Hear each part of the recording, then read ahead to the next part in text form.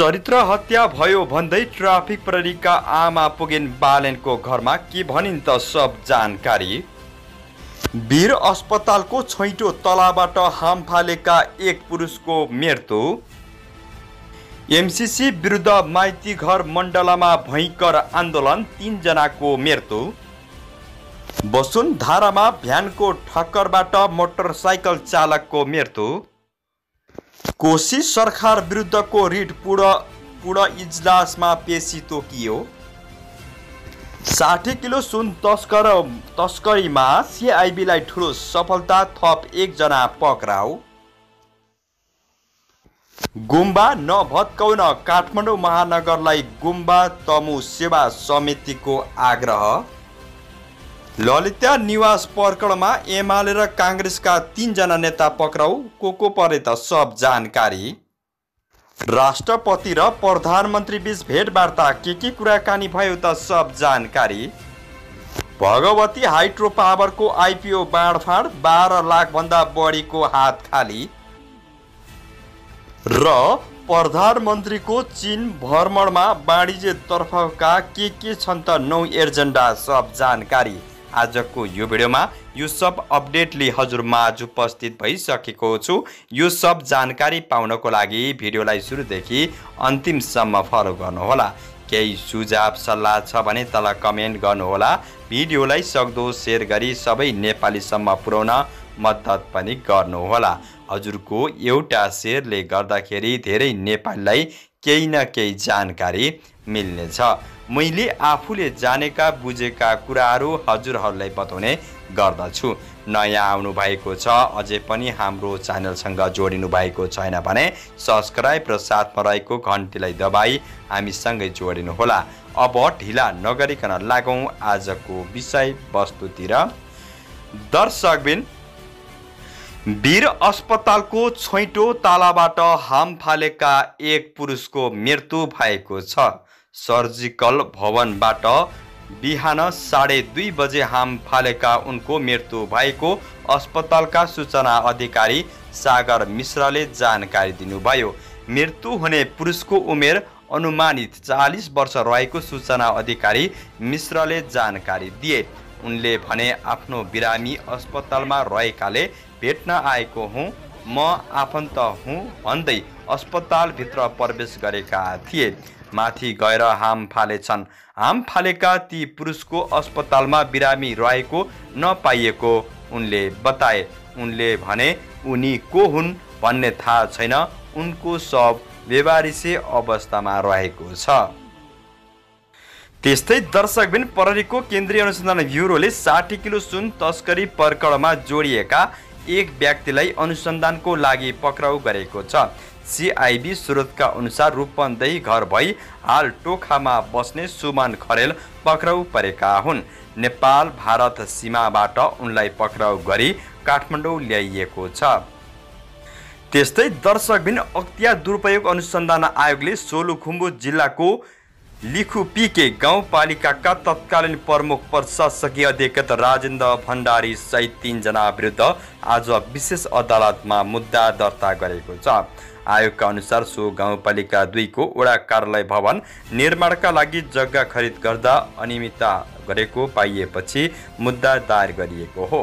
निशुल्क रूपमा दानपत्र मार्फत प्राप्त भएको जग्गालाई रु छ लाख खरिद गरेको भनी देखाई भ्रष्टाचार गरेको अभियोगमा मा तत्कालीन प्रमुख प्रशासकीय अधिकृत राजेन्द्र भण्डारी र तत्कालीन लेखापाल जीवन सुवेदी र तत्कालीन वार्ड नम्बर दुईका तत्कालीन वडा अध्यक्ष रमेश कुमार बस्नेत विरुद्ध बिगो बमोजिङको कारवाहीको माग गर्दै आज विशेष अदालतमा मुद्दा दायर गरिएको प्रवक्ता भोला दाहालले जानकारी दिनुभयो।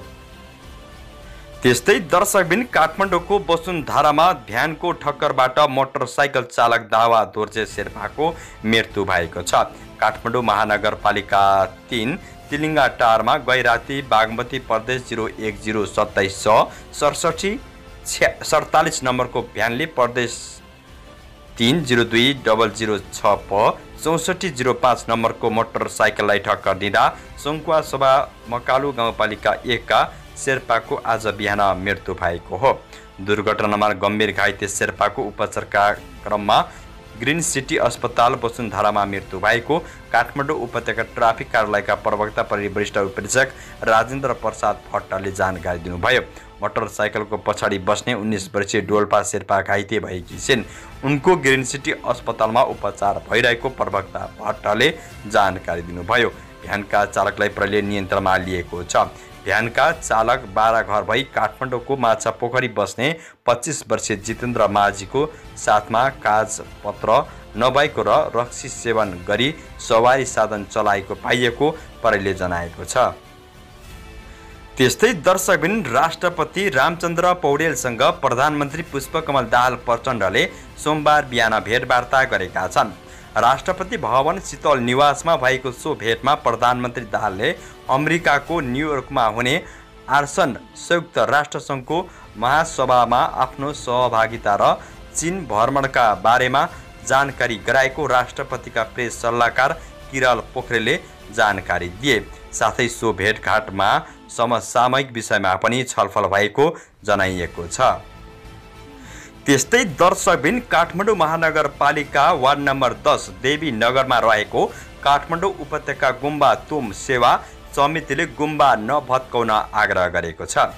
समितिले उच्च अदालत पाटनबाट अर्को आदेश नभएसम्मका लागि गुम्बा नभत्काउन आदेश दिए पनि महानगरपालिकाले सार्वजनिक जग्गामा निर्मित बनेर हटाउन अल्टिमेट दिएको छ।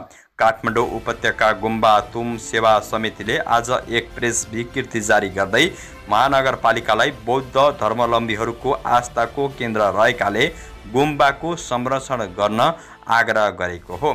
समितिका अध्यक्ष टिकाराम गुरुङद्वारा हस्ताक्षरित विकृतिमा भनिएको छ दुई हजार छेसठी साल जेठ एक्काइस गते बुद्ध धर्मप्रति आस्था राख्ने गुरुङ समुदायका व्यक्ति बुद्ध धर्मको ज्ञान उपदेश प्रवचन दिने र दिन लगाउने उद्देश्यका साथ सक्षेत्री पर्यटन तथा नागरिक उड्डयन मन्त्रालय अन्तर्गतको बौद्ध दर्शन प्रबन्धन तथा गुम्बा विकास समितिमा समेत दर्ता गरेर काठमाडौँ उपत्यका गुम्बा तमु सेवा समिति सञ्चालनमा रहेको छ।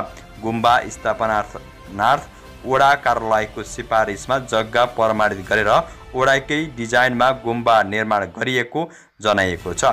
साथै तत्कालीन वडा कार्यालयबाट पनि बजेट विनियोजन भई गुम्बाको भवन निर्माणमा सहयोग गरिरहेको विकृतिमा जनाइएको छ। विकृतिमा भनिएको छ गुम्बा निर्माणमा सयौँ बौद्ध धर्मावलम्बी आस्थाका व्यक्तिसहित पर्यटन मन्त्रालय सहरी विकास तथा भवन विभाग तथा जिल्ला समन्वय समिति काठमाडौँ बौद्ध दर्शन प्रबन्धन तथा गुम्बा विकास समिति संसदीय विकास कोष लगायत विभिन्न सङ्घ संस्थाबाट आर्थिक सहयोग जुटाइएको जानकारी गराउँछौँ। केही समय अगाडि महानगरपालिकाले धर्म संस्कृति र समाजको व्यवस्था गर्दै सार्वजनिक सूचना जारी गरेर गुम्बा भत्काउन माइकिङ गर्न कार्य गरिरहेको कुराले समितिको गम्भीर ध्यान आकर्षण भएको विकृतिमा भनिएको छ। महानगरले धर्म संस्कृतिको रक्षा गर्नुपर्नेमा उल्टै भत्काउने कुरा राम्रो नहुने किसिमको भनाइ छ। काठमाडौँमा मात्र नभई देशभर मन्दिर गुम्बा चैत मस्जिद चर्च लगायत धार्मिक आस्थाका केन्द्र सार्वजनिक जग्गामै बनेका सोडम गराउँदै समितिले महानगरलाई आफ्नो माथहत ल्याएर गुम्बाको संरक्षण गर्न समेत आग्रह गरेको छ। गएको साउन तिन गते महानगरले दोजर ल्याएर देवी नगरमा संरचना भत्काउन खोज्दा उच्च अदालत पाटनबाट तत्काल गुम्बा नभत्काउन आदेश जारी भए पनि महानगरले त्यसको अवज्ञा गरेको जनाउँदै विकृतिमा भनिएको छ। त्यस्तै दर्शकबिन अमेरिकी सहयोग मिलियन च्यालेन्ज कर्पोरेसन एमसिसी कार्यान्वयन विरुद्ध काठमाडौँको माइती घरमा भयङ्कर प्रदर्शन भएको छ। नेत्र विक्रम चन्द विप्लव नेतृत्वको नेकपा वैज्ञानिक समाजवादी कम्युनिस्ट पार्टीका नेता कार्यकर्ता माइती घरमा भेला भएर एमसिसी विरुद्ध प्रदर्शन गरेका हुन्। विरोध प्रदर्शनमा नेकपाका महासचिव विप्लव नेता प्रकाट धर्मेन्द्र बास्तोला लगायत सहभागी भएका थिए। माइती घरमा प्रदर्शन भइरहँदा सिंहदरबारमा भने अर्थमन्त्री डाक्टर प्रकाश शरण मत र एमसिसीका क्याम्पड सञ्चार सम्बन्धी उपाध्याय क्यामरोन अर्डरको एमसिसी नेपाल क्याम्पमा क्याम्पट कार्यान्वयन चरणमा प्रवेश गर्दै पत्र आदान प्रदान गरेका थिए। तर भने अहिले अब विप्लवले देशभर भयङ्कर आन्दोलन गर्ने र ठुला नेतालाई रोडमा लिएर चेतावनी दिएका छन्।